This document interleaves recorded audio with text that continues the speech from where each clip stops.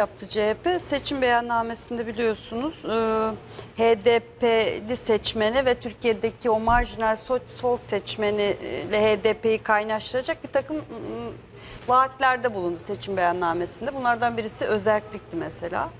E, bir taraftan da işte Canan Kaftancıoğlu gibi İstanbul'daki e, sol e, oylarla e, HDP oylarını e, birbir yerine kullandırabilecek çok orta bir figür yani çok rahat işte HDP'den de siyaset yapabilecek birisi İstanbul İl Başkanı oldu Cumhuriyet Halk O Partisi'nin. Ahmet abinin az önce bahsettiği özel Tabii. atamanın bir parçası. Tabii o aynen aynen yani bu, çok net zaten. Şimdi oy oranlarına da baktığınızda yani Cumhurbaşkanlığında Muharrem İnce'nin aldığı oyla e, şeyde e, partideki yani Cumhuriyet Halk Partisi'nin oylarının düşük olması aslında HDP'ye e, ciddi bir CHP desteğinin olduğunu çok net gösteriyor. Zaten miting alanlarında da biz bunu çok net bir şekilde gördük. Yani HDP flamalarıyla CHP flamaları yan yana e, dalgalandı. Keza Cumhuriyet Halk Partisi daha önce hiç Doğu ve Güneydoğu illerinde miting yapamazken HDP'nin e, desteğiyle, e, HDP seçmeninin